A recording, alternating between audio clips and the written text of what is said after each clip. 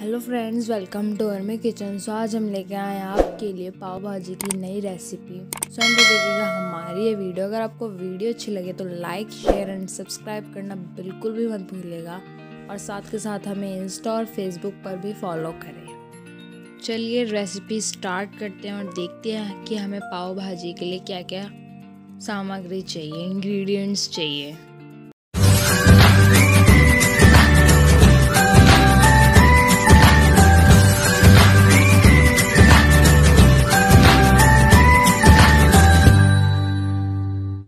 भाजी बनाने के लिए सबसे पहले हमने ले लिए हैं दो कटे हुए टमाटर, दो चुकंदर ले लिया है हमने और ये हमने दो गाजर ले ली है कटी हुई और ये हमने बॉयल आलू ले लिए हैं कटे हुए। सो हम कुकर रखेंगे गैस पर, उसके अंदर हम डाल देंगे सारी चीज़ें, जैसे कि चुकंदर, गाजर, आलू, इनको हम बॉईल करेंगे। सो एक एक करके हम सारी सब्ज़ियाँ डाल देंगे कुकर के अंदर। तो हमने डाल दिया चुकंदर, गाजर डाल दिया हमने, दो कटी हुई। फिर डाल देंगे आलू और टमाटर। इसके अंदर हम डाल देंगे डेढ़ गिलास पानी। बॉईल करने के लिए डालेंगे दो सीटी लगाएँगे कुकर के अंदर हम। सब इसके अंदर हम डाल देंगे डेढ़ गिलास पानी। अगर आप ज़्यादा बना रहे हो भाजी तो आप इसकी क्वांटिटी ज़्यादा बढ़ा सकते हो सब्जियों की। सो पानी भी ज़्यादा डाल सकते हो आप। सबने डाल दिया डेढ़ गिलास पानी। और एक छोटी चम्मच हम नमक डाल देंगे इसके अंदर।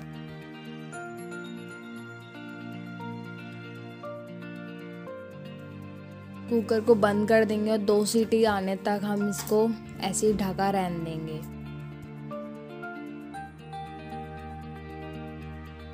सो so गाइस देखिए दो सीटी आ चुकी है कुकर के अंदर और काफ़ी अच्छी तरह से हमारी सब्ज़ियाँ बॉईल हो चुकी है, देख सकते हो आप। तो सब्ज़ी अच्छी तरह से पक चुकी है, सो हम इसको मैश कर लेंगे, अच्छी तरह से देखिए, ऐसे कर लेंगे। बिल्कुल अच्छी तरह से घोट लेंगे इसे, हम इसकी भाजी बना लेंगे।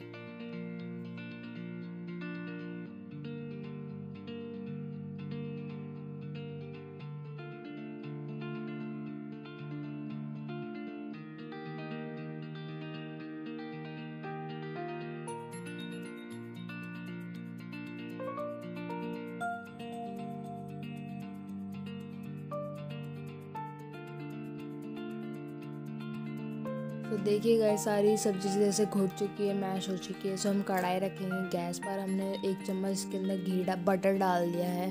तो आप बटर भी डाल सकते हो, घी भी डाल सकते हो सो हमने बटर डाल दिया इसके अंदर।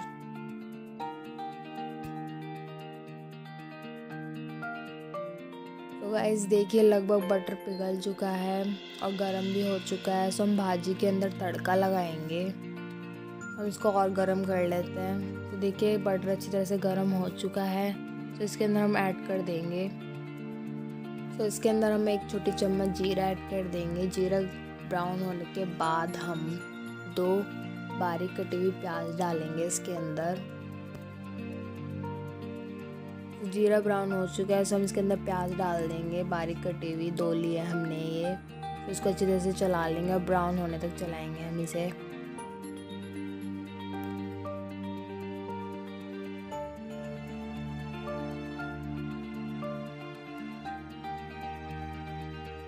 तो प्याज हल्की ब्राउन हो चुकी है। सब इसके अंदर हम हल्दी ऐड कर देंगे, एक छोटी चम्मच। इसको अच्छी तरह से मिक्स कर लेंगे हम और इसके अंदर हम डाल देंगे अदरक और लहसुन का पेस्ट डाल देंगे इसके अंदर एक चम्मच। इन सब इन सबको अच्छी तरह से भूनने के बाद हम इसके अंदर डाल देंगे बारीक कटी हुई शिमला मिर्च। आप डालना चाहे तो डाल सकते हो, बिल्कुल ऑप्शनल है। इससे काफ़ी अच्छा टेस्ट आ जाएगा भाजी के अंदर। और इसके अंदर डाल देंगे ये शिमला मिर्च, और इसको अच्छी तरह से मिक्स कर लेंगे। तो देखिए, अच्छी तरह से भुन चुकी है ये। सब इसके अंदर हम मसाले ऐड करना शुरू कर देते हैं। सब इसके अंदर डालेंगे हम एक छोटी चम्मच रेड चिली पाउडर तो आप अपने टेस्ट के अनुसार कम ज़्यादा कर सकते हो। अगर आपको ज़्यादा तीखा पसंद है, आप ज़्यादा डाल सकते हो। तो मैंने आमचूर डाल दिया एक छोटी चम्मच और फिर हमने धनिया पाउडर डाल दिया एक छोटी चम्मच। अब इसके अंदर हम नमक ऐड कर देंगे अपने टेस्ट के अनुसार। तो हमने डाल दिया है एक छोटी चम्मच। सो हम सबको अच्छी तरह से मिक्स कर लेंगे। मसाले ऐड करने के बाद हम इसके अंदर थोड़ा सा पानी डालेंगे ताकि इसके अंदर जो जितने भी मसाले वो अच्छी तरह से भुन जाएँ। तो देखिए सारे मसाले अच्छी तरह से भुन चुके हैं। अच्छी तरह से मिक्स करने के बाद इसके अंदर हम डाल देंगे, जो हमने सारी सब्ज़ी बॉईल की थी ना, वो डाल देंगे। इसके अंदर सो देखिए कितना अच्छा कलर आ चुका है चुकंदर से, सारी सब्जियों के अंदर। सो देखिए अब इसको अच्छी तरह से मिक्स कर लेंगे।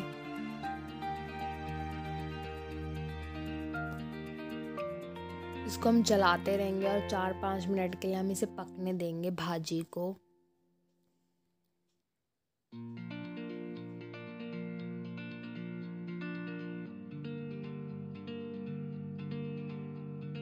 तो गाइज़ देखिए, भाजी अच्छी तरह से पक चुकी है। सब इसके अंदर हम डाल देंगे पाव भाजी मसाला। हमने दो बड़ी चम्मच लिया है पाव भाजी मसाला। सब हम डाल देंगे और इसको अच्छी तरह से मिक्स कर लेंगे हम।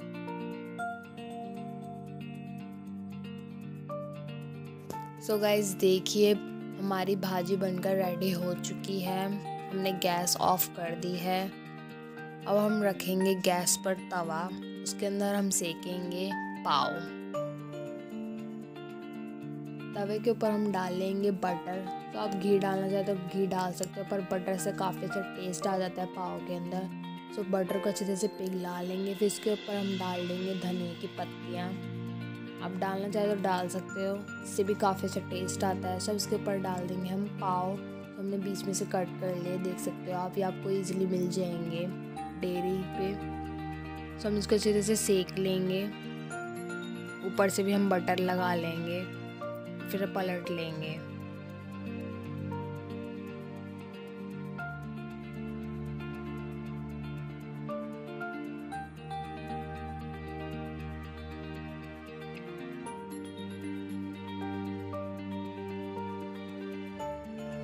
तो गाइज़ देखिए हमारे सारे पाव सीख चुके हैं। हम इसे निकाल लेंगे प्लेट में। और हम सर्व कर लेंगे अपनी प्लेट में भाजी और पाव।